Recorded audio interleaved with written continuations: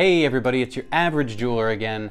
Thank you so much for being here. If you're new, thank you for showing up. I hope that you'll subscribe if you're interested in learning more jewelry, gemstones, many of the questions that go along with that. If you've been around, Thanks for being here. I hope you also, if you haven't subscribed, please hit the subscribe button below. Hit the like button if you enjoy anything here. And today we're talking about moissanite again. We're going to talk about some various things that make it interesting. I'm going to answer some of the questions that I've received from the other video and some comments and some new information that we didn't talk about. And then we're going to talk about some pros and cons. And I even want to get into some buying information some tips and a little bit of a guide there. So let's get right into it.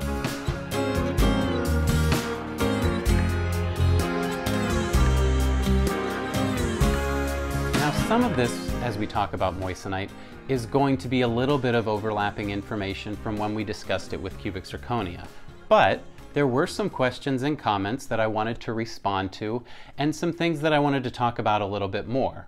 I also wanted to give you a better opportunity to understand the buying process and maybe what to look for there.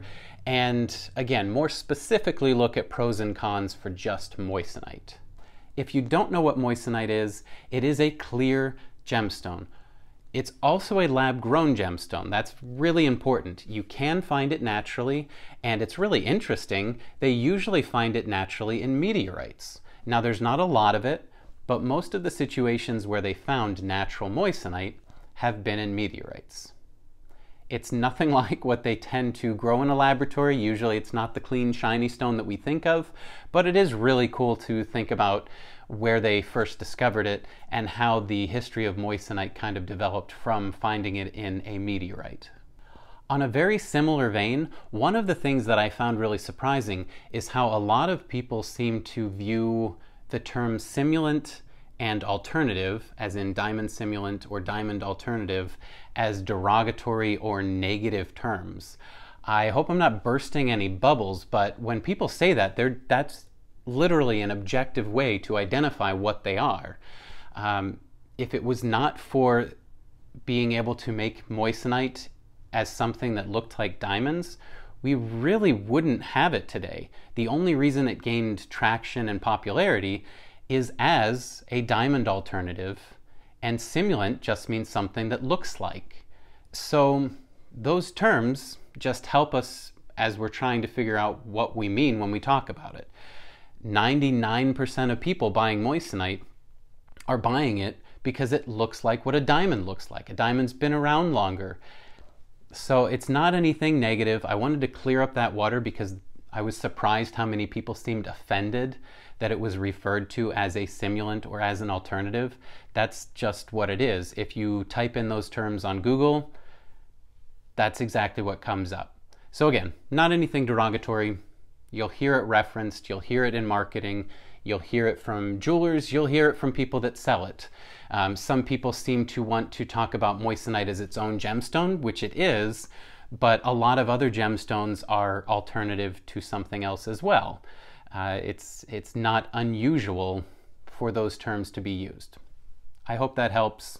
Again, you may have a differing opinion, but 99% of people that deal in jewelry and gemstones, that's how they're going to talk about it. I also wanted to say I enjoy seeing and reading your comments below here on YouTube. I want you to keep commenting. I want to know what your thoughts are on this. Uh, but please watch the entire video first because I find that many people have some of their own strong opinions and some things that I've said throughout the video don't seem to be reflected in some of the comments. And so I just encourage you, watch the entire video you're going to see some of my observations, you're going to see some of the facts, and you are going to see some of my opinions. And I'll try and make those distinctions as we go along. But at the end of the day, moissanite is a good alternative to diamond. I'll say it. There it is. I can recommend moissanite as a alternative to diamond. Now, to be more fair, because it is strictly a lab grown stone that most people are buying, unless you're in a museum somewhere, you have lab grown moissanite, it's a little more fair to compare it to lab grown diamond if we are comparing it to diamond. But moissanite does have some fantastic attributes, and I do want to give it credit where it's due. Uh, a lot of people felt like I was maybe a little too harsh on it when I spoke about it in the past, and that's because my personal preferences, I still prefer diamond if it's an option, but moissanite is genuinely a good stone. And so let's talk about some of those things. Something that came up that I found really interesting is that there are actually different types of growth in moissanite.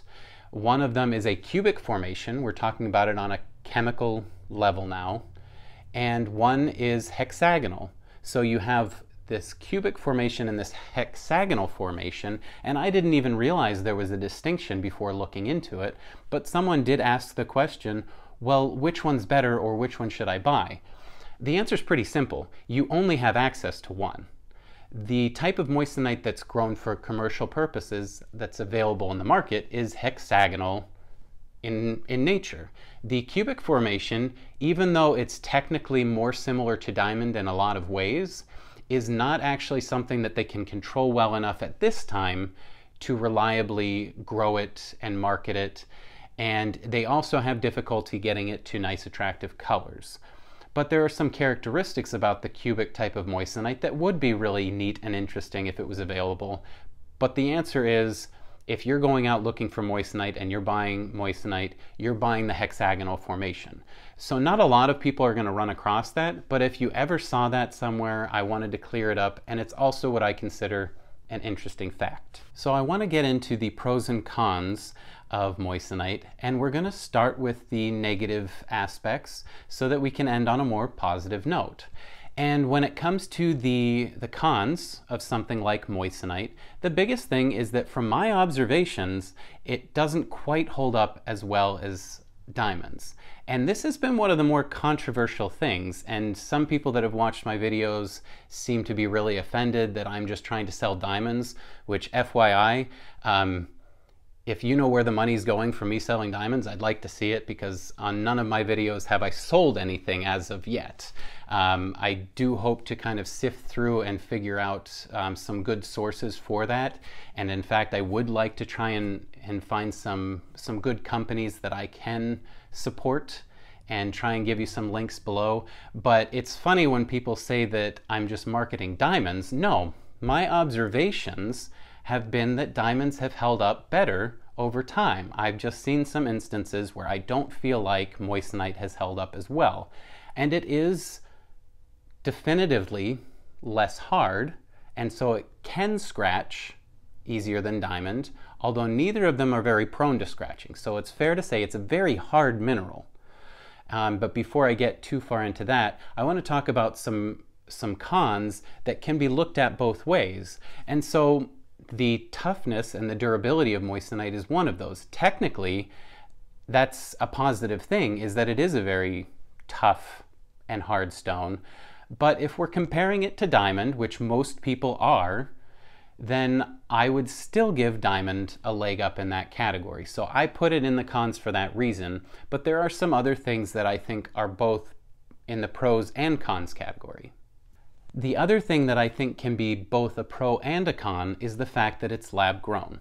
Now, to some people, they feel like they lose some of the romance, and maybe they feel like they're losing some of the value by buying something that's not natural, something that's man made.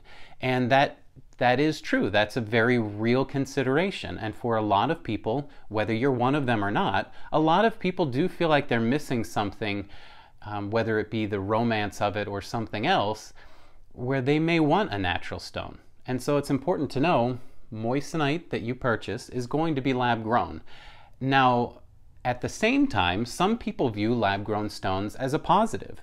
They, they would rather have a lab grown stone because they don't appreciate some of the negative connotations behind mining or mining practices.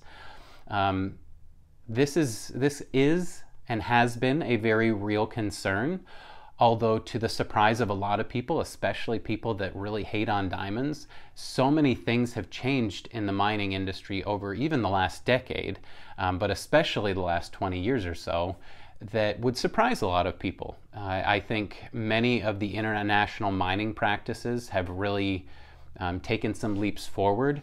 And on the other side of that coin, many of the claims, as far as being green and environmental, that lab grown makers have claimed over the years, they've actually found that, that a lot of those have not been uh, they have not been substantiated. We'll say that. There have been studies done that have actually shown that there are more emissions created from a lab grown diamond than there are a natural diamond.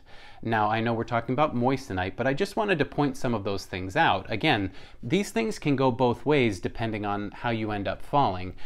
For me, you need to look at the source more than just the practice itself because there are a lot of mines even today that might not be using good practices. But there are a lot of mines that are actually more ethical and paying their workers better than many other industries in whatever country we're talking about.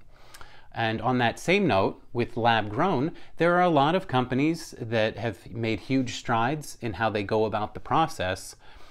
But if you're buying a lab grown stone and you don't know where it's coming from, there's a good chance it's coming from India or China, and many of the conditions in their factories are considered subpar by most standards. So while you may think you're supporting something that's more ethical, um, you actually might be on the opposite side. You may be you may be putting your money towards something that's more ethical and environmental by buying a natural stone as opposed to a lab grown stone, but it usually comes down to more of the company itself. And that's why I prefer to vet those companies. I like to deal with local independent jewelers when possible.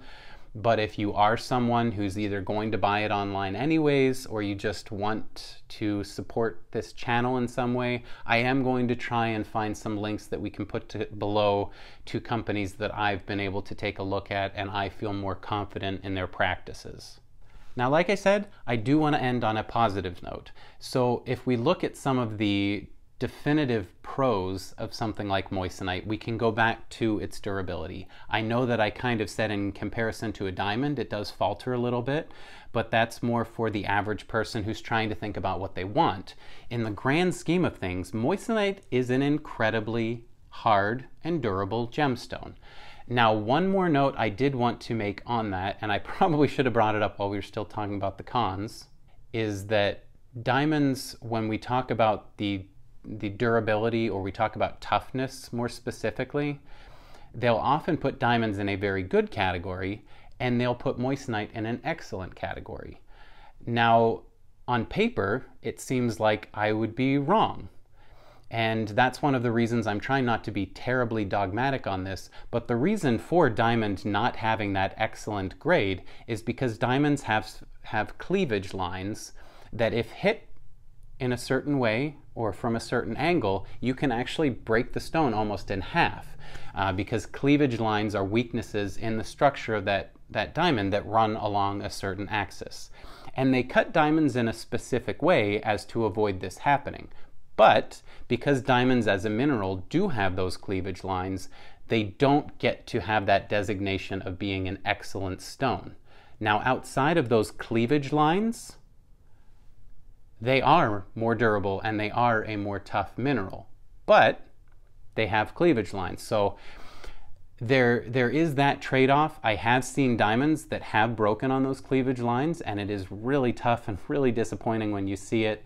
But from my experience, they're much fewer and far between. So again, to be fair, moissanite does not have that vulnerability.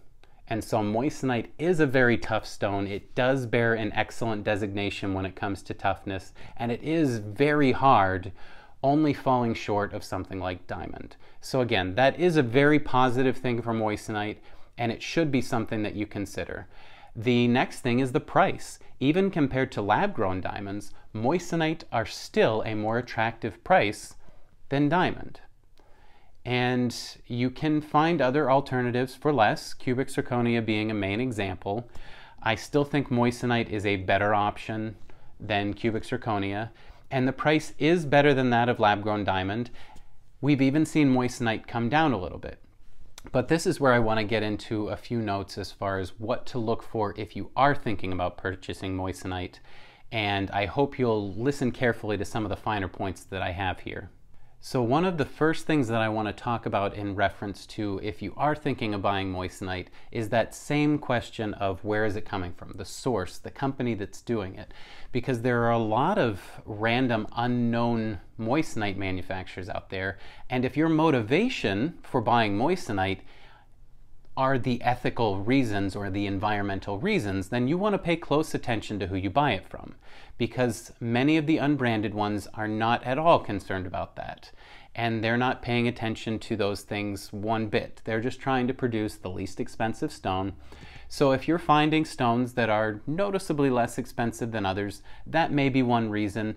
It might not be important to you, but because it's commonly a reason people buy moissanite, I want to make sure you understand that that is a real thing. On that same note, sometimes when you're purchasing something like moissanite online, you see prices that I would call too good to be true because they probably are. Quite frankly, I've seen some that will say moissanite within the description, but then you scroll down and you find out that it's actually cubic zirconia.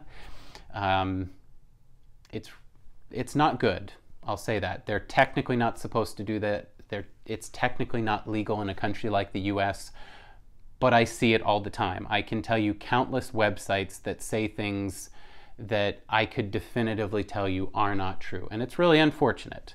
Um, that's just the reality of the world we live in, and they can't keep up, the FTC and other organizations, they can't seem to keep up with everyone that's doing this. And so if they do find them and they try and crack down on them, that same person um, or website just pops up under a different name somewhere. And so it's really hard for that to be completely stopped. But if you understand that you're not actually getting moissanite, that you're getting something like cubic zirconia, again, if you're just price shopping, that's one thing. If you're value shopping or if you're looking for specific criteria, I would say go through a good source, a reputable company. You're going to be much happier that way, and that would be my recommendation. The other points I want to make concerning buying moissanite have more to do with the traditional four C's when we buy diamonds. And I'm not going to go through all of those here. I've made other videos to try and teach about what those four C's mean and how they impact value in different ways. But when you look at moissanite, those same criteria are going to play into it. So just pay attention to if you're looking for something closer to colorless or if you're okay with a little bit of color, obviously the size, um, the company that you buy it from hopefully will talk about how they cut the stone and if they take a higher care when they cut the stone because that's going to make a difference in how brilliant and shiny it is and how it shows off. So the four C's are going to be important for you to examine and if you're curious about that I hope you'll check out my other videos talking about the four C's. Uh, I mentioned earlier in this video that I want to see your comments. I enjoy and appreciate them. I hope you understand that there are some things that are objective and other things that are from observation and opinion, and I'm trying to do my best to do what I think is helping others, but moissanite can be a beautiful stone. It can be an excellent alternative. I always do recommend trying to find a good local independent jeweler if you have one. But if you're going to buy something online and or you'd like to support this channel, again, I'm working on trying to team up with some distributors and companies that I feel more comfortable in and hopefully we'll, we'll be able to put some links below for you to check that out. I hope that if you've watched this whole video that you'll hit the like button and maybe share it with others who are curious about it. The bottom line is it's definitely an option, but there's a lot of other options. And that's the great thing about it. In today's age, we have so many things we can choose from. Many of them have their pros and cons. I wanted to take an extra minute, talk specifically about moissanite today. I hope you'll keep coming back so that we can keep learning together.